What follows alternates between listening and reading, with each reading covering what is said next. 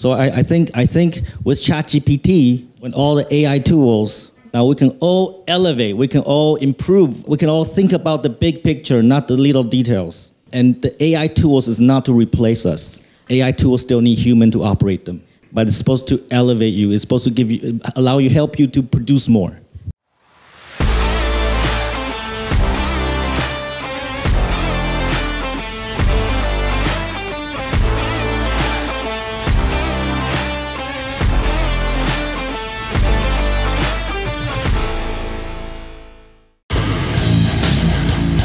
Know, if you're in Vietnam and want to know about business, actually, if you're anywhere and want to know about business, you might want to check out Tom Pang.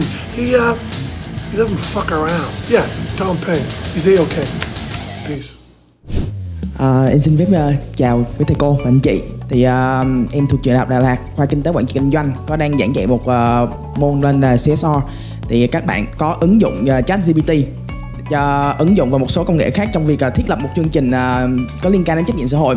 Thì các bạn có đặt ra cho em một câu hỏi như sau và em cũng khá là trăn trở. Với lại tại vì em là một người trẻ mới không có nhiều kinh nghiệm giảng dạy nhiều thì cái câu hỏi này cũng khiến cho em suy nghĩ khá là lâu. Tức là các bạn nghĩ là các bạn có một nỗi sợ tức là cái góc nhìn của generation mới. Họ sẽ có có một nỗi sợ khác với mình. Bảo là nếu có chat GPT như vậy rồi các công cụ như vậy rồi AI như vậy rồi mọi thứ quá đơn giản vậy thì cần giảng viên làm gì nữa? Chúng ta cần gì giảng viên? Chúng ta có thể học ở trên đó, thậm chí làm luận ở trên đó. Là cái thứ nhất, các bạn có thêm một nỗi sợ nữa là cần gì việc nữa? Chat làm hết AI làm hết, bọn em học và em có việc gì nữa để làm. Và bạn sắp đâm ra bạn chán nản, các bạn chán. Vậy thì em muốn dành câu hỏi này chung cho các thầy cô anh chị luôn. Là khi sinh viên, chúng ta có một tâm lý như thế có một câu hỏi đặt ra cho mình như thế thì uh, các thầy cô anh chị đã làm gì sẽ làm gì để vừa cải thiện tâm lý cho chúng ta mà vừa cải thiện tâm lý cho sinh viên tại vì có một câu mà em nghe rất đau lòng là chat GPT thì cần gì giảng viên nữa thì nó nghe cũng hơi đau lòng thiệt rồi em xin cảm ơn ạ So that, that's a really good question, right? If we have ChatGPT, we have AI, then what do people use for?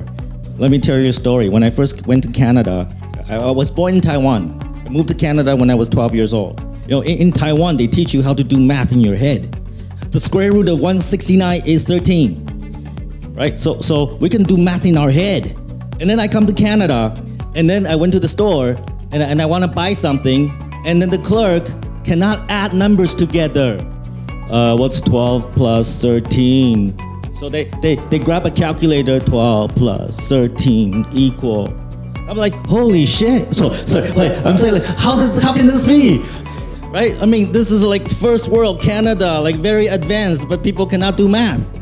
And then I got older, and then I realized in, in the Canadian educational system, they don't teach you how to do math in your head because it's not important. Because you can use a calculator. They want to train you, they want to teach you how to do critical thinking, not, not how to do math.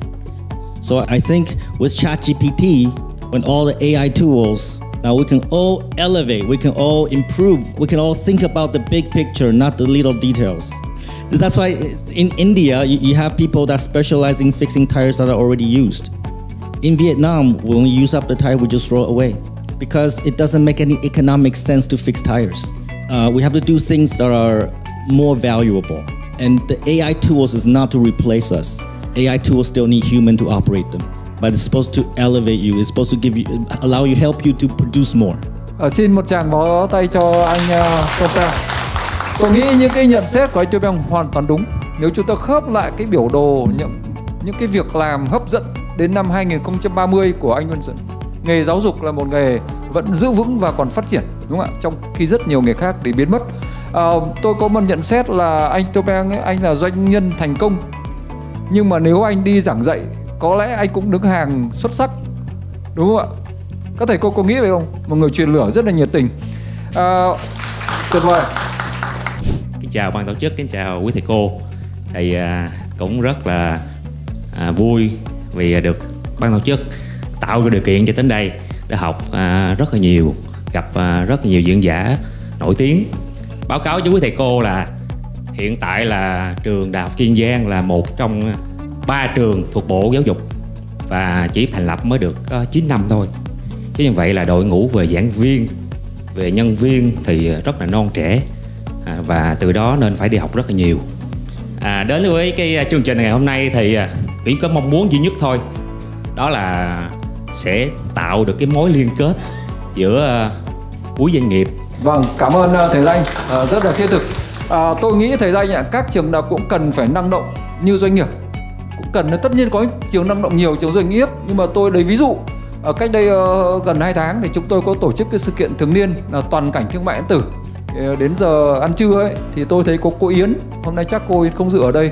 Cô Yến là trưởng bộ môn thương mại điện tử của đại học Văn Lang. Cô ấy gặp ngay anh uh, Tom Peng. Tức là anh ấy đề xuất hợp tác giữa ờ, uh, GoSell với đại học Văn Lang.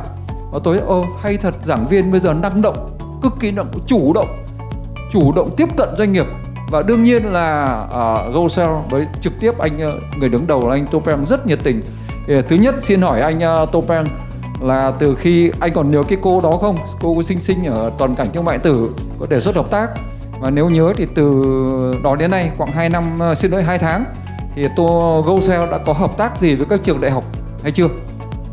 Okay, thanks. Um, so so first first of all, uh, good, good question.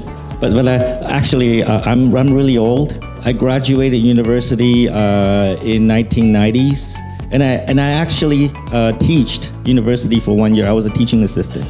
I taught first year computer science at the University of Toronto in Canada, and and I just want to compare a little bit. Back in the 1990s in Canada, universities don't work with business. It's blasphemy. It's like it's it's unorthodox. It's it's not allowed because it, academic has to be pure so, so that's why in University of Toronto we don't study C, we don't study C++, we study a language we created ourselves called Turing. And we all have to learn to use that programming language. And then when we graduate, we can't use any of our skills. Yeah. That's true. And then I come to Vietnam and I work with great universities like UEH, IUH, you know, many. I visited many campuses. And one thing I realized is Vietnamese universities love to work with business. Vietnamese universities want to know what's happening in the market and bring that into the classroom. Uh, I, I think that's effing amazing. I can I cannot say that word, but I think it's amazing. So how about what about our partnership with universities? I think it's great. It's good for Vietnamese economy. When our students graduate, they, they will be useful in our marketplace. Thứ nhất, tôi nghĩ tất cả chúng ta nghe anh Tô Peng xong thì bản thân tôi cũng rất bất ngờ. Bởi vì trong hệ trong nội bộ người Việt Nam chúng ta chúng ta luôn luôn phàn nàn là cái hệ thống giáo dục Việt Nam cách tiếp cận giáo dục Việt Nam là rất là lạc hậu và không hiểu có thầy cô nào tôi là luôn luôn ngưỡng mộ những cái ờ, nền giáo dục tiên tiến như Hoa Kỳ, Canada. Thực sự trong trong đó của tôi nghĩ Canada cũng là một giáo dục thật là tuyệt vời và số sinh viên Việt Nam hiện nay sang Canada chắc thầy cô cũng biết đang ngày càng tăng. Nhưng mà không ngờ nghe anh ấy nói và anh này tôi tin chắc về 3 năm vừa rồi luôn luôn gặp anh ấy thì tôi tin anh ấy nói chân thành thì hôm nay tôi nghĩ rằng với cá nhân tôi chương trình tổng hôm nay đến nay kết thúc cũng được rồi bởi tôi thấy hóa ra chúng ta cũng đang hay lắm chứ không phải là chúng ta quá là là cậu đâu.